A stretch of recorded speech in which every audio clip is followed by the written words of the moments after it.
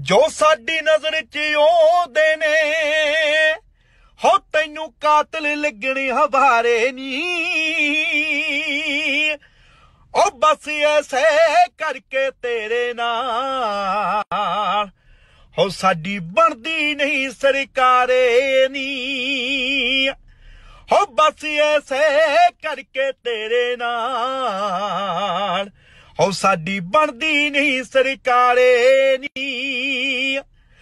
ਹੋ ਤੈਨੂੰ ਮਾਨ ਸਦਾ ਹੀ ਰਹਿੰਦਾ ਏ।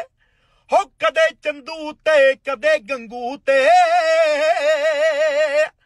ਹੋ ਫਿਰ ਉਦੋਂ ਤਾਂ ਕੋਈ ਬੌੜਿਆ ਨਹੀਂ ਹੋ ਜਦੋਂ ਖਤਰਾ ਬਣਿਆ ਜੰਜੂ ਤੇ।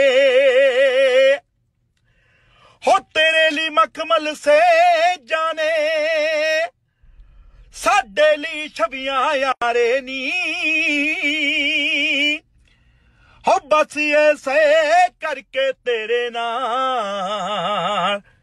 ਹੋ ਸਾਡੀ ਬਣਦੀ ਨਹੀਂ ਸਰਕਾਰੇ ਨੀ।